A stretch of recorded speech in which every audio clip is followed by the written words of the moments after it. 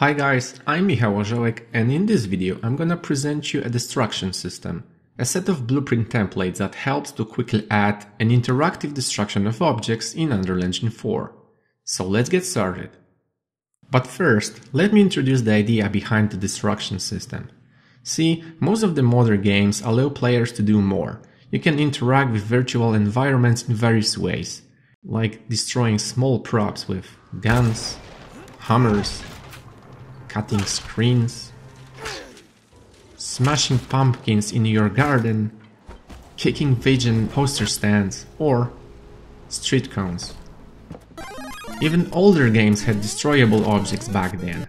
It's because generally everyone loves destruction. Anyway, such interaction in your games adds details and the destruction system can help you with that. Here's how it works. You start with collecting static meshes that represent objects' different state of damage. Let's take this bottle as an example. So, first state. Think of it like it's a brand new object, not destroyed, untouched. Then the second state, partially or semi-destroyed. And finally, completely destroyed, like only small pieces are left.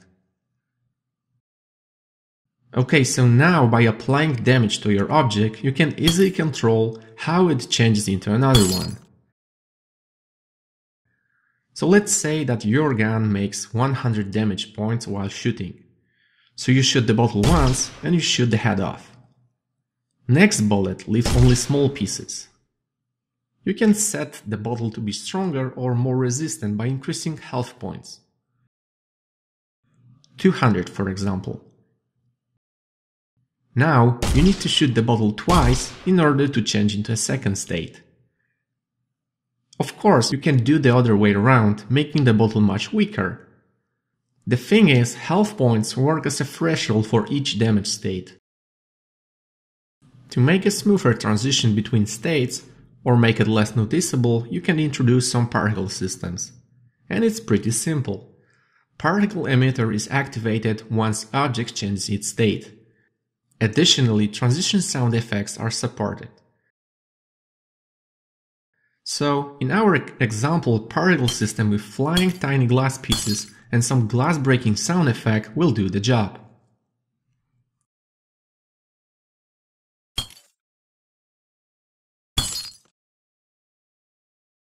And you may now ask yourself, what happens if the object is in the last state and you still apply some damage to it?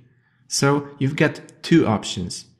You can make the last state permanent, meaning that the object will no longer react to any damage, and it's useful for bigger objects that once shot or smashed, they just indicate that they are destroyed or damaged.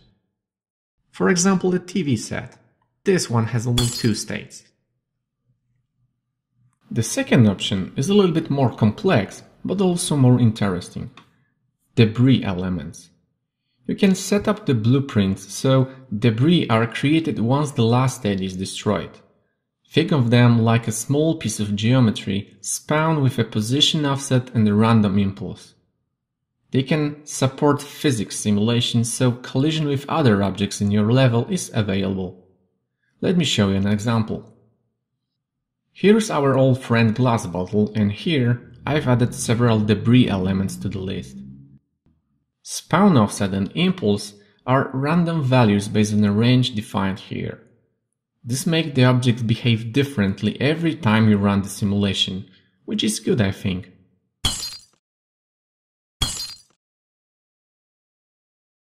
Here's another example of using debris elements. Here we've got only single state of damage, so object turns into debris immediately. You can enable shadow casting for each piece if you need a better quality here. But remember, debris elements are physical objects and dynamic shadow may affect your performance. And saying of performance, you can introduce some optimization. Simply set debris destroy delay to a value different than zero. The value uses seconds so you can define when they disappear and are not being rendered anymore. Okay, that's pretty much summarizes all features of the system I wanted to show you. Let's just watch other examples. Of course, all assets that you saw in this video are included in the package so you can check how they were created or use them as a guideline for your objects. I hope you enjoyed this short presentation and if you got any questions just let me know in comments. Thanks!